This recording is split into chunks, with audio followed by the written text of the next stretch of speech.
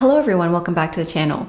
Today we're covering a recent health update. President Donald Trump, age 79, has been diagnosed with chronic venous insufficiency or CVI.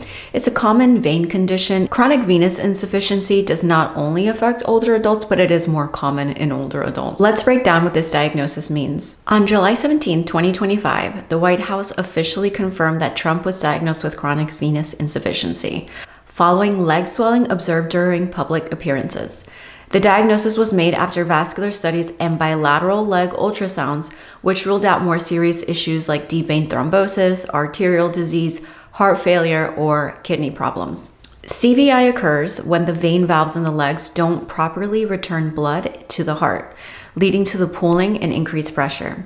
It affects roughly 1 in 20 to 1 in 30 adults, especially those over the age of 70. Symptoms include mild swelling, leg aching or heaviness, varicose veins, and in severe cases, skin changes or ulcers. It's very common in those that are age 70 and above, and risk factors include standing or sitting for long periods, obesity, family history, prior blood clots, Trump's reported swelling and bruising, potentially from aspirin use and frequent handshaking, led to the vascular tests.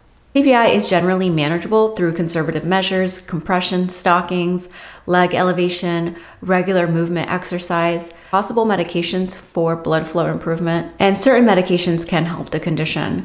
For more advanced cases, minimally invasive procedures like sclerotherapy endovenous ablation, or laser therapy are available. The White House noted no signs of acute complications, meaning it's being managed conservatively. While CVI is not life threatening, it signals the importance of monitoring vein health in older adults.